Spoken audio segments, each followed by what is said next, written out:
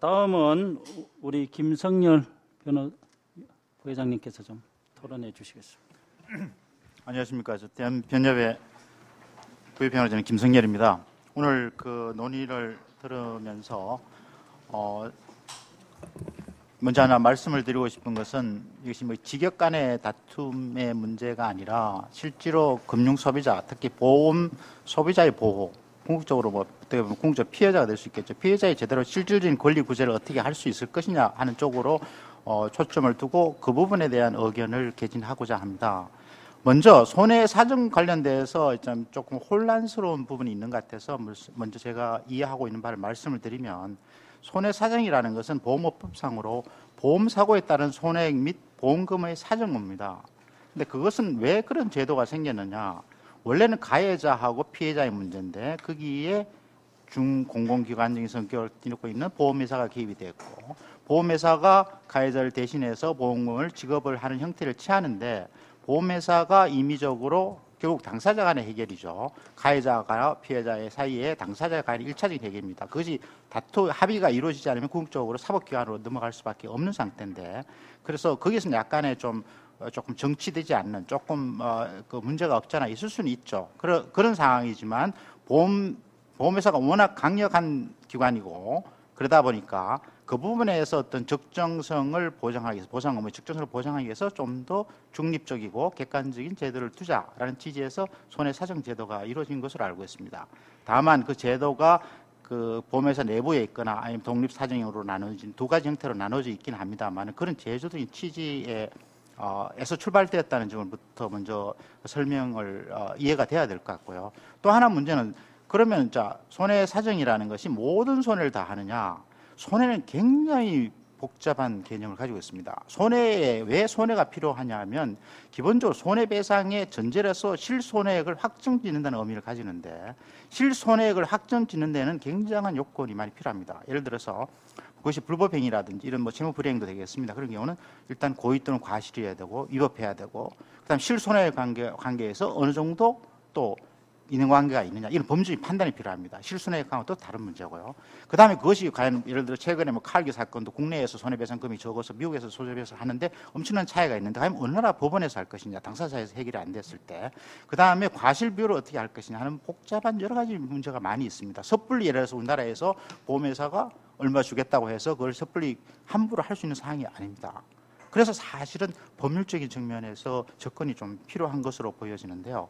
제가 그래서 일단 그런 차원에서 그러면 만약에 당사자 사이에서 보험회사 사이에서 어떤 손해액을 산정함에 있어서 필요하고 좀 더 적정성을 보장을 해주고 어, 그 다음에 독립성과 투명성을 보장하기 위한 제도로서 손해 사정 업에 대한 예를 들어서 그 제도에 대해서 다시 한번 저희들이 한번 제도적인 보완 장치를 한다는 것은 저도 절대적으로 필요하다고 봅니다. 왜냐하면 금융 소비자, 보험 소비자를 위해서 절대적으로 필요한 제도입니다. 그래서 방금 논란 말씀하신 것처럼 자기 사정 문제라든지 그런 컨플릭트가 있기 때문에 그분에서 얼마나 조절할 것이냐 하는 부분에서는 절대적으로 필요하고 또 수수료 체계에서도 보면 보험 사정이 요율로 돼 있다 보니까 많은 금으로 보상을 하게 되면 많은 비용을 받게 됨으로써 오히려 그에 대해서 약간 잘못될 수 있는 여지가 있다는 그런 측면 뭐 여러 가지 문제가 많이 있어서 그에 대해서 금융감독 당국의 뭐 관리 감독도 필요합니다. 다만 실질적으로 보험회사에서 손해액의 산정이라서 가장 중요한 핵심 업무고 일반적인 손해배상 문제에 있어서도 사실은 손해액이 가장 핵심적인 사항입니다.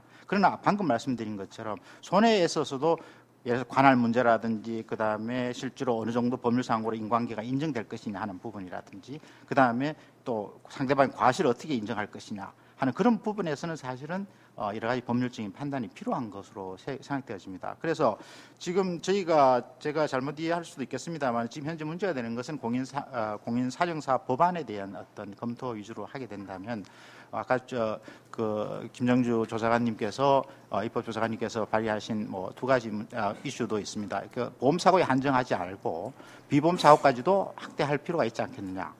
그러나 저희가 생각하는 비보험 사고로 확대한 경우는 조금 이슈가 달라질 수가 있습니다. 왜냐하면 비보험 사고인 경우에는 보험 사고라는 것은 예측이 가능하고 그 underwriting을 하는 과정에서 어느 정도 예측이 되고 그에 대해서 지급 부분은 체계화되어 있어서 산정하는 것이 그렇게 어렵지 않을 수가 있으나 비보험 사고에 있어서는 엄청난 손해 유형이 많이 있습니다. 그래서 그걸 과연 지금 현재 어업 피해 같은 경우도 지금 감정 공인 감, 감정 평가사에서도 하고 다른 어, 전문 감정 기관에서도 하고 있고 학술 기관에서도 하고 있고 각종 형태가 다 있습니다. 그래서 어느 기관이 독점을 할 수 있는 건 아니겠습니다만 손해 산정을 한다는 것은 결코 쉬운 문제가 아니고 또 법원 입장에서도 손해 산정을 해서 감정서가 들어왔다 하더라도 법원에서 그 부분에 다시 양 당사자의 범, 범, 법률 전문가의 그 의견을 들어서 다시 한번 조정을 하게 됩니다. 이것이 과연 필요한, 이 제대로 된 것인지, 이건 문제가 없는지, 감정에서 이 부분이 잘못 고려된 것인지, 그 다음에 이 정도 이런 것이 과연 맞, 맞는 건지, 그런 여러 가치 판단의 문제가 또 발생이 됩니다. 그런 과정이 없이 공인사정사라는 아니면 특정 전문 직역에 있는 사람으로 바- 하여금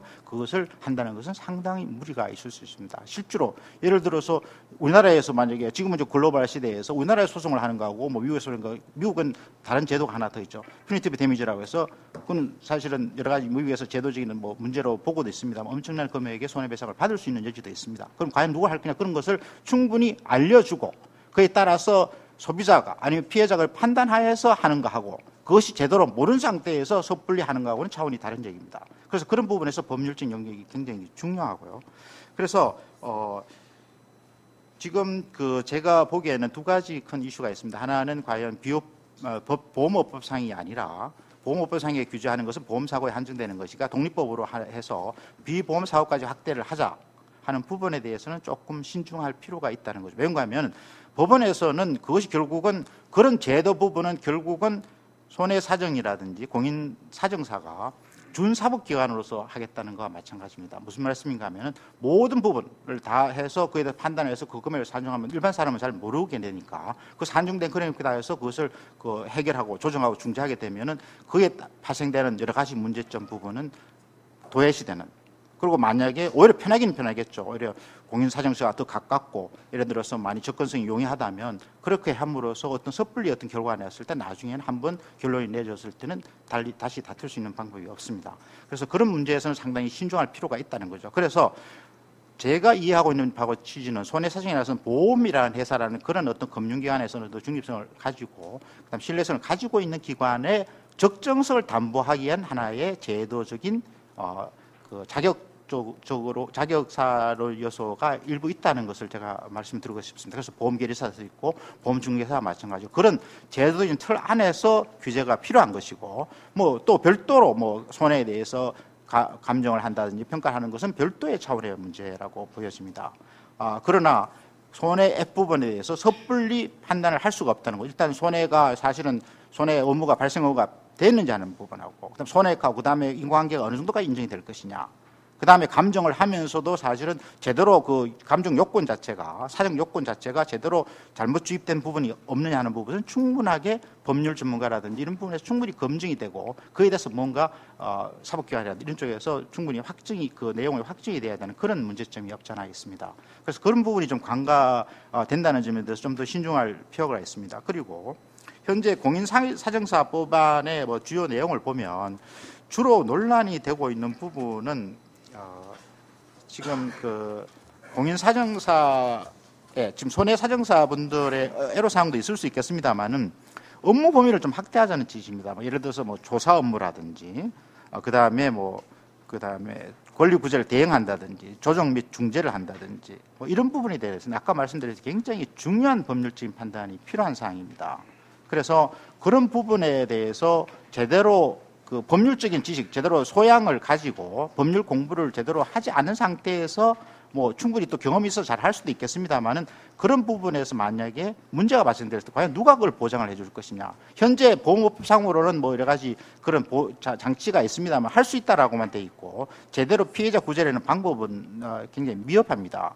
그래서 사전적인 조치로서는 법률적인 사항에 대해서는 법률 교육, 지금 로스쿨 제도를 만들어서 충분하게 학부를 마치고 또 전문 법률 교육을 해서 또 자격을 하고 계속 어, 계속 continuing education을 시켜서 그 전문성을 계속 유지하고 있는데 그런 부분이 제대로 안 된 상태에서 어, 일어날 수 있는 사전적인 어떤 문제점과 사후적으로 문제가 피해가 발생됐을 때 과연 어떻게 보상을 해줄 것이냐는 것은 굉장히 중요한 문제라고 생각되었습니다. 어, 그래서 어, 지금 오히려 이 논의의 초점은 보험 사고에 있어서 현재 문제가 되고 있는 즉그 경제적인 어떤 협상력이라든지 보험회사하고 보험 공계약자 사이에서 발생되는 어떤 개입을 방지하기 위해서 과연 손해사정 의무의 어떤 종전에는 보상팀에서 했습니다만 지금 어, 별도의 손해사정사 제도를 둬서 하고 있으니까 그것이 과연 적정성이 있느냐, 독립성이 있느냐, 그 다음에 투명성이 보장되느냐 하는 그런 측면에서 사실은 어, 제도적인 보완이 가장 급선무라고 생각되십니다. 지금 현재 최근에 그 일부 뭐 일부에 하게 해당되겠습니다만은 그 진단서를 허위로 유죄해서 그 부분을 뭐 이렇게 그 청구를 해서 실제 문제가 된 경우도 있고요. 근데 그것이 매운간 보수 체계가 마치 성공 보수 체계로 돼 있다 보니까 그런 유혹에 빠질 수밖에 없습니다. 그래서 그런 부분에 대해서는 제대로 그 제대로 좀 그 관리 감독이 필요하고 그리고 사실은 사정 업무의 표준화가 필요합니다. 사실은 사정사 자격을 취득하지만 그에 대한 체계적인 교육이 미흡합니다. 사후 관리도 미흡하고 차제 그래서 금융당국에서 그 부분에서 좀 체계적인 교육이 더 필요하고 그 다음에 자기 사정 부분에서 어, 원래는 취지는 역사적으로 보험회사를 돕기 위해서 나온 제도고 내부 소리 두기보다는 적정성이나 그 독립성을 보장하기 위해서 어, 자격사 제도를 뒀다면 마찬가지로 그 회사에서 그 회사에서 compliance officer도 똑같은 채 마찬가지입니다. 이사 부분도 마찬가지예요. 그래서 독립성을 보장할 수 있도록 법 제도적인 측면에서 이를 보완을 해주고 그 할 수 있도록 하는 그런 제도적 특히 뭐 자기 사정 부분에서 약간 뭐 어떤 제한을 한다든지 어떤 그 조건을 준다든지 이렇게 하는 것은 가능할 것으로 보여집니다. 아 그래서 제그 그런 부분에서 조금 신중히 접근이 돼야 되지 않을까 하는 생각을 하고 있고요. 그 다음에 법안 구체적인 내용에서 봤을 때는 어, 저희가 뭐 아무래도 법률을 하- 그 하다 보니까 내보면은 어, 상당히 그 포괄 유의 미법적 요소가 많이 있습니다. 뭐 대, 대통령에 넘겨버리는 그 조건도 없이 하는 그런 부분에서 상당히 문제가 있고 그리고 오히려 정말 중요한 예를 들어서 해임이 된 사람이 오히려 결격 사유에다 보면 해임이 된 사람이 일정한 기간이 지나면 못하도록 한다는 그 사후 관리를 해야 되는데 그런 측면에서 문제가 있고 그 다음에 손해 사정사 부분에 있어서도 사실은 공인 사정사로 만약에 변경이 된다면은 그 제도 변경을 따- 하는 경우에는 이 법에 맞는 그런 어떤 어, 제대로 뭐 윤리성이라든지 도덕성을 가지고 있는지 하는 검증하는 절차가 불가피하게 필요하다고 보여집니다. 그래서 그런 부분에서 미흡하게 도록돼 있고 시험 면제 부분에 있어서도 어, 직무 관련성이 없는 사람이 단지 그 기관이 있다고 해서 면제하는 것은 문제점이 있다고 보고요. 특히 보험회사 같은 경우에는 오히려 유착이나 유대관계가 더 강화되는 어떤 문제점이 있을 수 있기 때문에 정관이라든지 다른 데서 문제되는 그런 문제가 발생될 수 요소가 있기 때문에 그분 좀 더 신중할 필요가 있다고 생각되십니다. 그리고 어, 구체적으로 공인 사정사의 업무 부분에서 좀 더 정확하게 그 관리 감독이 되어야 되니까 개인의 정보를 누설한다든지 부당방으로 사건을 유사한다든지 그런 문제점에 대해서 구체적인 벌칙 조항이 들어가야 되는데 그런 게 전혀 없다는 그런 한계점이 있고요. 아, 그런 측면에서 뭐 어, 강론 부분에서는 어, 그런 측면이 좀 문제가 없지 않아 있는 것 같습니다. 그래서 기본적으로 가장 어, 지금 현재 오히려 중요한 요소는 그 원래 제도 취지로 봤을 때 손해사정사 업무 자체가 좀 더 독립성과 적정성과 투명성을 보장하는 쪽의 제도적인 보완이 더 급선무가 아닌가 하는 생각을 합니다. 이상으로 마치겠습니다.